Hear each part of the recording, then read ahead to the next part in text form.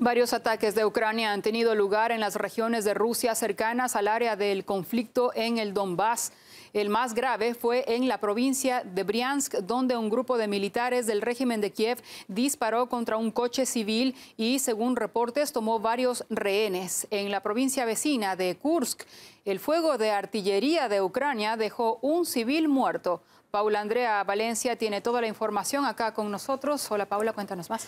¿Qué tal Isabel? Sí, hoy a muy tempranas horas de la mañana se habla que unos 40 militares ucranianos pasaron la frontera a territorio ruso, a la provincia de Kursk y Briansk. Allí habrían, estarían generando mejor pánico entre la población con diferentes ataques terroristas y también se habla de toma de rehenes. En la provincia de Briansk habrían asesinado a un hombre, un conductor que iba en un vehículo con dos niños, tal y como lo dice el gobernador de Briansk. Los saboteadores dispararon contra un automóvil. Como resultado, un residente murió y un niño de 10 años resultó herido en su pecho. Afortunadamente fue atendido a tiempo y se recupera. También en la provincia de Kursk se habla de dos hombres que resultaron eh, alcanzados por las balas. Uno de ellos falleció tal y como nos lo dice el gobernador de la provincia de Kursk. Dos hombres resultaron heridos en la localidad de Tyotkino en un ataque de las Fuerzas Armadas de Ucrania. Uno de ellos, por desgracia, falleció antes de que recibiera asistencia médica.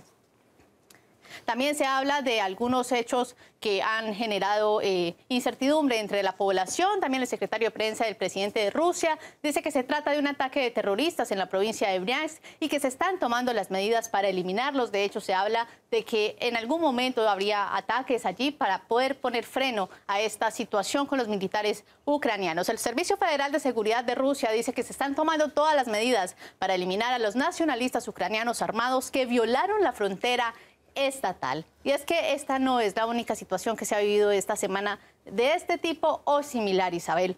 Tenemos que también en la jornada de ayer en la península de Crimea también la defensa de Rusia logró eh, interceptar a tiempo 10 drones que tenían cargamento explosivo y con el cual, al parecer, se buscaba eh, hacer un ataque masivo contra la población civil allí en Crimea, un hecho que se suma también a los de la jornada del pasado martes donde eh, la defensa rusa también eh, logró interceptar a tiempo varios, no sabemos la cifra, varios drones con los que se buscaba atacar cuatro regiones rusas. Una de ellas en la provincia de Moscú, muy cercano a la capital del país, lo que ha generado también un poco de tensión, un hecho que no se había registrado hasta este momento.